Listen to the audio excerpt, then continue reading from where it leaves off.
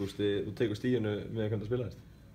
Ekki með hvernig það spilaðist, mér fannst við uh, tölur betra aðeins í leiknum þegar það voru náttúrulega mjög hættulegur í fyrstu leikadröfu en auðvitað tegum við stíði hérna í lókinn þegar við náum að jafna bara flautumark og, og sem gefur okkur einhvern veginn stíg og, og Nóleikindum að við hefum verið ekki búin að skora í þessu leik. Mér fannst það bara hérna heimaðalli og fá kannski ekki mikið opnu, opnu færi en fullt af tækifærum til að skora, svona búa til betri færi.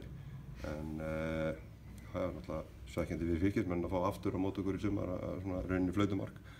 Og, uh, en jú, við tökum þetta steg svona kannski inn í end. Alltaf erfitt að spila mútið liðin sem er að berjast fyrir lífið sín í deildinni vendalega.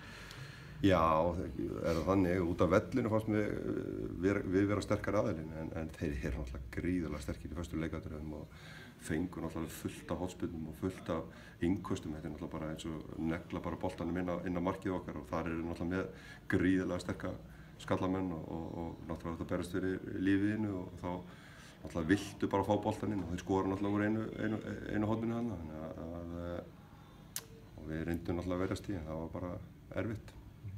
Fylgismyndu meina þetta hefur verið rángstæði í jöfna markinu, hvernig horfði það við þér? Nei, ég sé þetta ekki, þetta er bara káos hann inni og boltin kemur fyrir og, og, og allt innu lendar inni í netinu.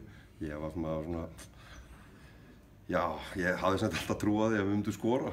Ég held að við myndum skora og hefðum alltaf skorað lengur fyrr til að gera þetta svona einhverjum alvöru leik en, en uh, mjög svekkjandi við fylgir að fá þetta beint í aldið, hvort það var rángstæði ekki, ef það var alltaf bara ennþá mér, ennþá fúlar að virða það. En, uh, greiðilega mikilvægt fyrir okkur að, að kannski að fá þetta steg þó maður hefði viljað þrjú í þessari barðu. Þér náttúrulega eru ekki búin að vinna leiknum og hvað þrjá í rauð, eru menn hrettir við að gera alveg allugu að svona topp liðan?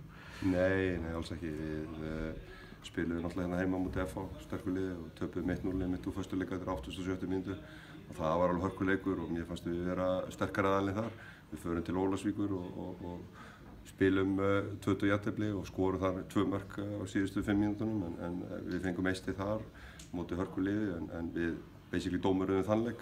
Í dag fannst mér vera sterkar aðalinn þannig að þessir þrjí leikir eru búin að vera nokkuð ágættir hjá okkur fannst mér og, og við betri aðalinn en fáum lítið úr, úr, úr þessum leikjum því miður.